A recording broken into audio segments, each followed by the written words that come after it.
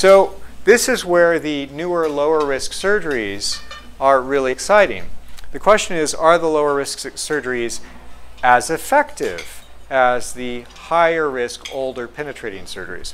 So we're going to look at uh, to the ab externo, so from the outside and the ab interno. Now, of the ab external, the main one is canaloplasty.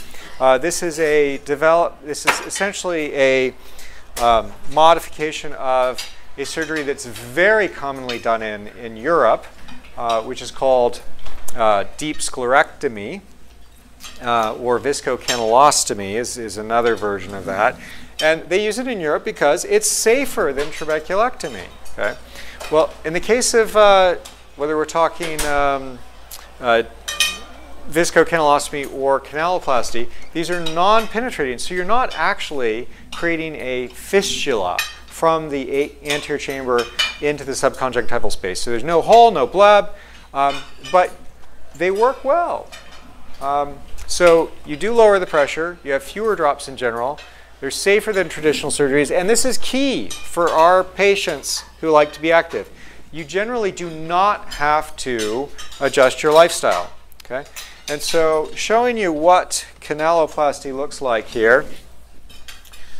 So you do, um, and this is just going to go through, sorry, the, the uh, normal pathway of aqueous being produced by the ciliary epithelium, uh, going out through the trabecular meshwork. But in the case of uh, glaucoma patients, there's a blockage in either the trabecular meshwork or the Schlemm's canal. So with canaloplasty, you do create a partial thickness scleral flap. So it's not a full thickness scleral flap, it's a partial thickness. And a catheter, the world's smallest catheter, it's incredible little 250 micrometer diameter catheter, is threaded through the canal, uh, which is pretty neat to see. Once it's through, you tie a, a suture to it and pull the suture back through the canal. Okay? Now, why would you do that? The, the idea is as you're pulling it back through the canal, you're actually injecting viscoelastic to dilate the canal. So it's kind of like angioplasty for the eye.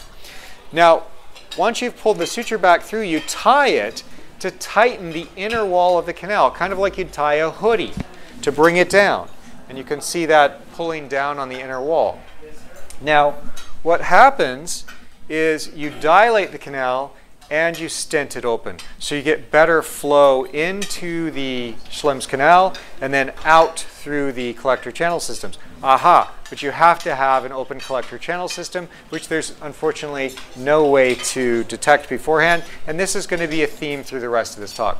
So how does it work? Well, it turns out it works pretty well. Okay, in one study that looked uh, at the two surgeries, trabeculectomy versus canaloplasty, there was not a significant difference between the final pressures. 13.4 with trabeculectomy, and this was one year out, versus 12.3, I'm sorry, 13.4 with canaloplasty, correct myself, versus 12.3 with trabeculectomy and mitomycin C. So yes, trabeculectomy had a tendency to be lower, but it wasn't a statistically significant uh, difference.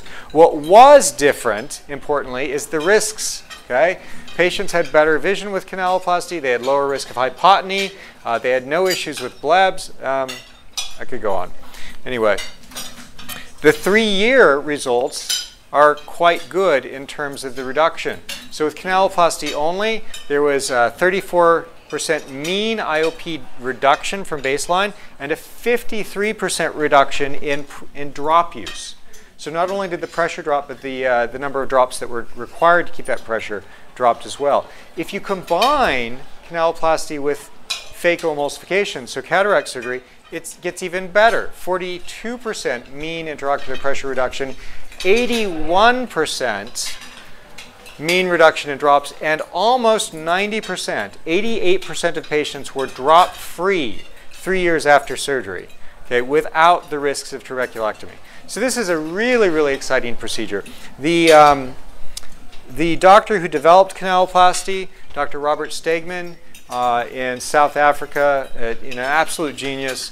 Um, I think this quote pretty much sums it up. It's vital to find a safer, more predictable operation with preferably no complications at all. And he felt that canaloplasty is the closest that he's ever come to that. Um, and that's another point that I didn't make earlier. With trabeculectomy and glaucoma drainage devices, the, there's no coupling between surgeon skill and the outcome. Okay, you speak to experienced glaucoma surgeons, they will tell you, I will finish what I think is a perfect trabeculectomy and have no idea how this patient's going to do because it's so dependent upon the body's healing response. And that's not the case with canaloplasty.